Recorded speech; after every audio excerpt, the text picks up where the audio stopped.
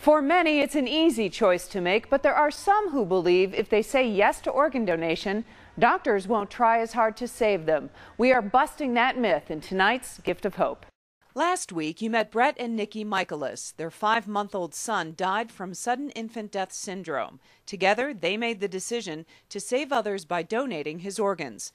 But Brett told me when he was a teen, he and his siblings said no to being organ donors. Because it was it was half in jest and half not. We talked about being in an accident on the road and having the paramedics come and see that, well, we could save him, but he's marked as an organ donor.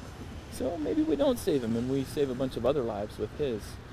We joked about it, but at the same time, it was a question. Dr. Shawn Smith is a neurointensivist at Intermountain Medical Center. He cares for critically ill patients with brain and spinal cord injuries. First of all, with every patient across the board that comes in, you know, we do everything that we can to save their lives no matter what. Dr. Smith adds he and his staff don't even know if a patient is an organ donor when they're admitted. And this is true for hospitals across the country is to do everything that we can.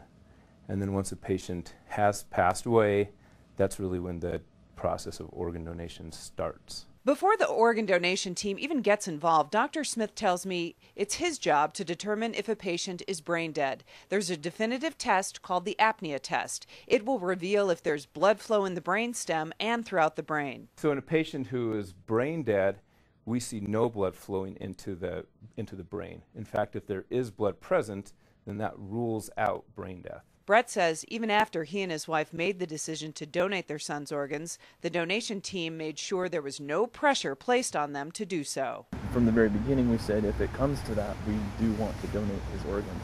And they were very, uh, almost forceful, saying, Are you sure that's what you want to do?